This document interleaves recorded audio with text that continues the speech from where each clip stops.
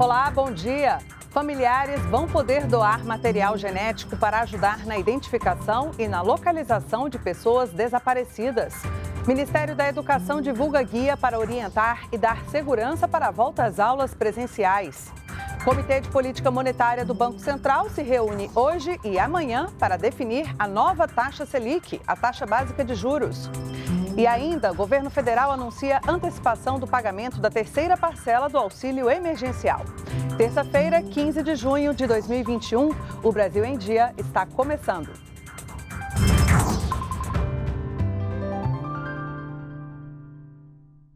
Agora são 8 horas, estamos ao vivo também pelas redes sociais da TV Brasil. O governo vai antecipar as transferências e saques da terceira parcela do Auxílio Emergencial 2021. Para quem faz aniversário em janeiro, os pagamentos começam na sexta-feira, 18 de junho, dois dias antes do previsto. A mudança mais significativa será para os nascidos em dezembro, que iriam receber somente no dia 21 de julho, mas com essa antecipação passam a ter direito à terceira parcela ainda neste mês, no dia 30, junto com quem faz aniversário em novembro. O novo cronograma foi publicado hoje no Diário Oficial da União. Novas tecnologias nos aeroportos brasileiros. O projeto Embarque Mais Seguro 100% digital, com uso de reconhecimento facial, será testado a partir de hoje. E o repórter Dimas Sold explica para a gente ao vivo como é que vai funcionar esse sistema, não é, Dimas? Bom dia. Oi, Popov. Olha, Bom dia, bom dia para você, bom dia para todo mundo. Olha, é bastante moderno, viu? E funciona assim. Aqui no momento do check-in, que acontece por aqui, o passageiro precisa tirar uma foto e apresentar o documento. Isso tudo vai para o sistema. E aí, quando ele vai em direção à segurança, basta se aproximar de um leitor de biometria facial. O sistema identifica o passageiro automaticamente. E o mesmo processo acontece na sala de embarque.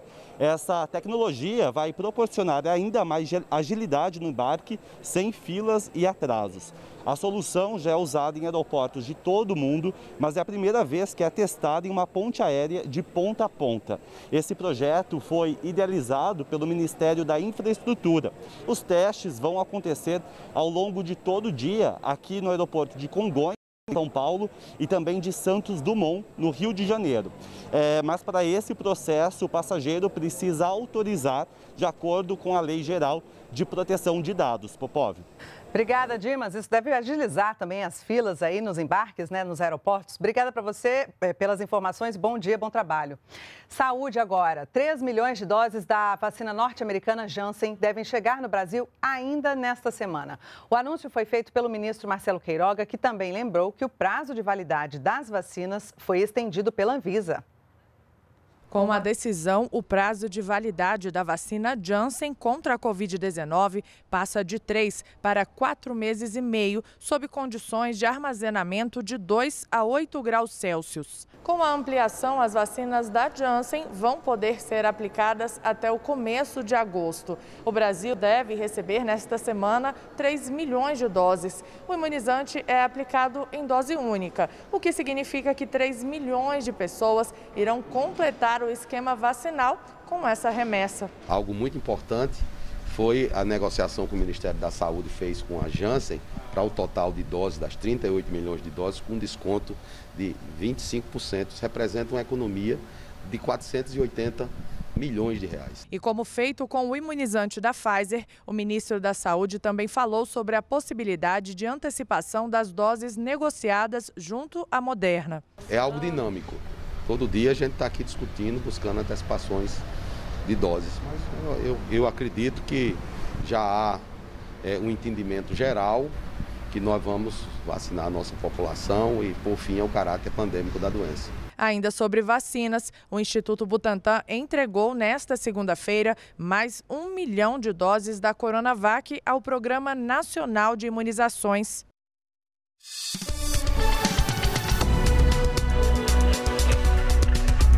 Momento Saúde. Vamos ver como está a vacinação contra a Covid-19 no país. Acompanhe então os números aqui no telão comigo. O Ministério da Saúde já distribuiu 109 milhões 882 mil 126 doses para todo o Brasil. Foram aplicadas 78 milhões 906 mil 225 doses ao todo. Quem tomou a primeira dose, 55 milhões 226 mil 467 pessoas. E quem já tomou as duas doses, 23 milhões 679 mil 758 pessoas. Com o avanço da vacinação contra a Covid-19 no país, que chega também aos profissionais da educação, escolas em várias partes do Brasil retomam as aulas presenciais. E para orientar e dar segurança a esse retorno, o Ministério da Educação divulgou um guia com dicas voltadas à comunidade escolar. O uso de máscaras e o distanciamento entre as carteiras são algumas das novas regras para o convívio na rede estadual de ensino de Santa Catarina. Isso foi super importante. No dia 18 eh, de fevereiro começou as aulas, mas teve uma preparação anterior muito forte. Do outro lado do país, álcool em gel na porta, pia nos corredores para lavar as mãos, adesivos no chão indicando distanciamento social. Essa é a Escola Estadual Cachoeira do Rio Pedreira, na área rural de Macapá onde estão sendo feitos os últimos ajustes para o retorno seguro às aulas presenciais no segundo semestre. Conseguimos entregar para as escolas o kit de proteção individual para professores, para estudantes, para quem trabalha na merenda, para quem trabalha no transporte. Com o avanço da vacinação dos profissionais da educação, muitos estados têm se preparado para o retorno seguro às aulas presenciais no segundo semestre deste ano.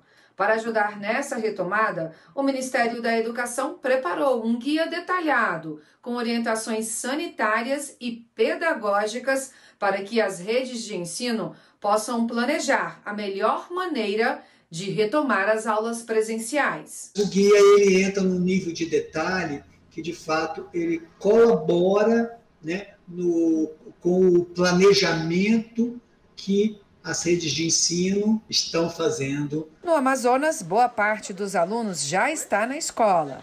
As aulas estão sendo retomadas no modelo híbrido, com metade das turmas presencial e a outra metade em casa, em dias alternados. A gente tem um dia a dia no colégio muito bom, né? As aulas, as aulas presenciais são muito boas no colégio.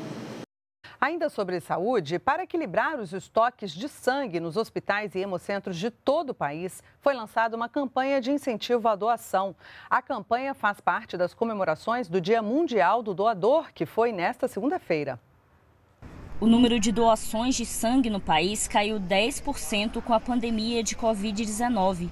Em 2020, foram quase 3 milhões de doações, enquanto em 2019 Antes da pandemia, foram mais de 3 milhões e 200 mil coletas. Até março deste ano, foram cerca de 730 mil doações. Segundo o Ministério da Saúde, embora o número de cirurgias eletivas tenha caído, outros procedimentos médicos continuaram precisando de transfusões durante a pandemia de Covid-19.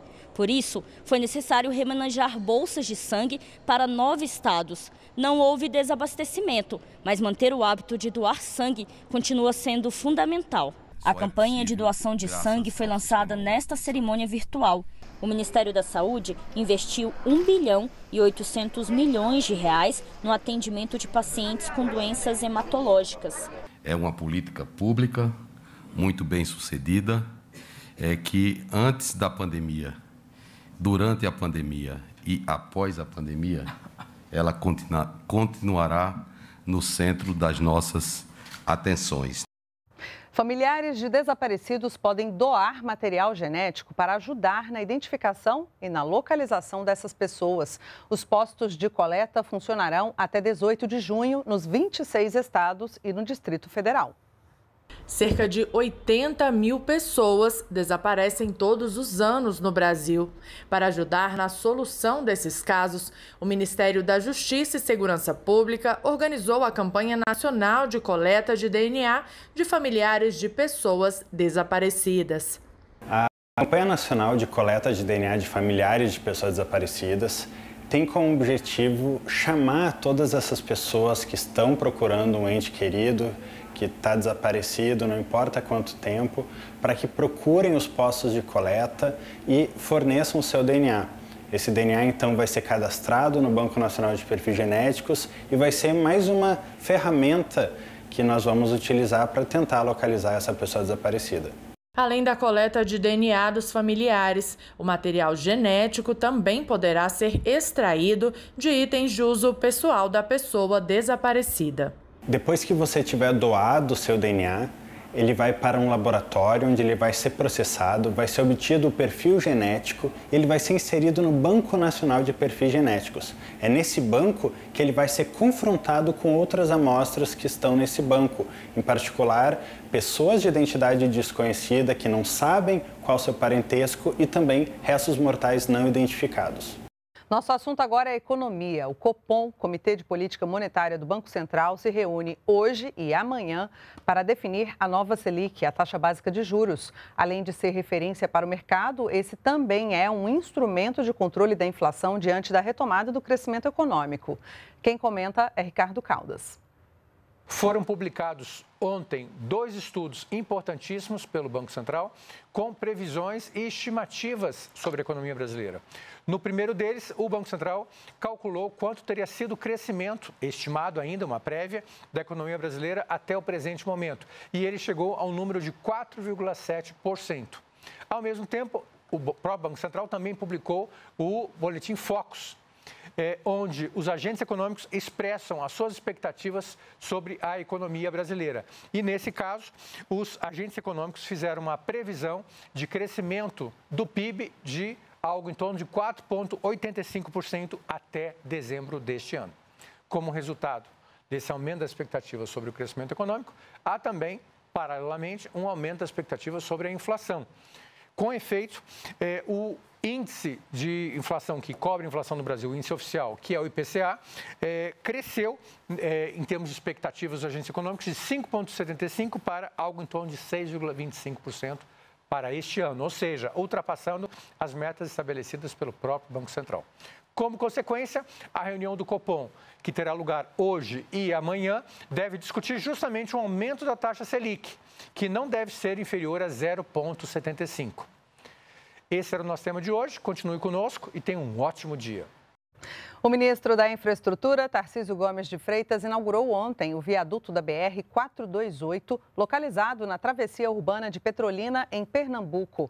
O viaduto faz parte do complexo viário do município. A obra tem 600 metros de extensão e vai desafogar o trânsito da cidade, ajudar na mobilidade urbana e facilitar o escoamento da produção agrícola da região. De acordo com Tarcísio de Freitas, os investimentos no Nordeste vão continuar.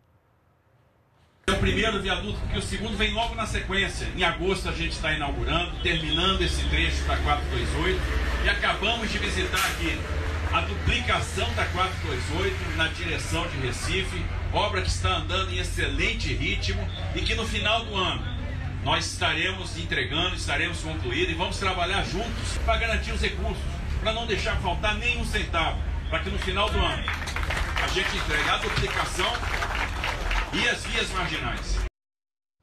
Olha, uma notícia para você, estudante. Quem teve o pedido de isenção da taxa de inscrição do Exame Nacional do Ensino Médio indeferido, ou seja, negado, pode entrar com recurso até o dia 18 de junho. Os resultados dos recursos estão previstos para serem divulgados no próximo dia 25. A aprovação da justificativa ou da solicitação de isenção não garante a inscrição no Enem 2021. Ela deve ser realizada entre 30 de junho e 14 de julho na página do participante. E o Brasil em Dia fica por aqui. Você pode rever as nossas reportagens nas nossas redes sociais. Um excelente dia para você. A gente se encontra amanhã. Tchau, tchau.